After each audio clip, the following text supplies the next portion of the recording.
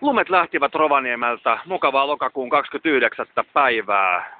Lunta oli 10 senttiä parhaimmillaan Rovaniemellä ja Ounasvaarallakin ensilumen latu. Tietääkseni jo avattiin ja muutenkin Lapissa, mutta nyt on maa jälleen syksyinen, vihertävä monin paikoin ja ruskan sävyinen. Lämpötila on tällä hetkellä sillä viiden asteen paikkeilla.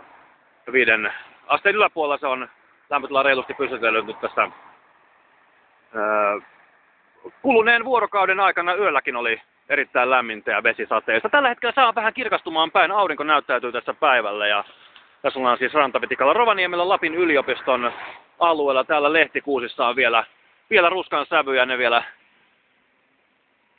auringon valaisteessa syyspäivää niin kauniisti sävyttävät tätä ympäristöä Rovaniemellä. Ja Sale, uusi lähikauppa, se tosiaan palvelee tätä seutua. Nyt kun on hyvin ruuhkasta tuolla yliopiston ruokaloissa, niin varmasti Salesta moni hakee kahvinsa. Siellähän saa nyt ilmaisen kahvin tosiaan sitten päivittäin S-etukortilla, mutta minä en ole sitä vielä testannut ja siitä johtuen, että siellä on ollut tekninen vika siinä laitteessa, että se nyt maksaa sitten pienen summan, olisiko se nyt 50 senttiä muistaakseni. Mutta näin Rovaniemellä Lapin yliopiston seudulla täällä siirryttiin hetkeksi takaisin talvesta syksyyn, mutta säännösteiden mukaan lähipäivinä jälleen se olisi pakastumaan päin niin, että Lapissa jälleen talvi saapuu.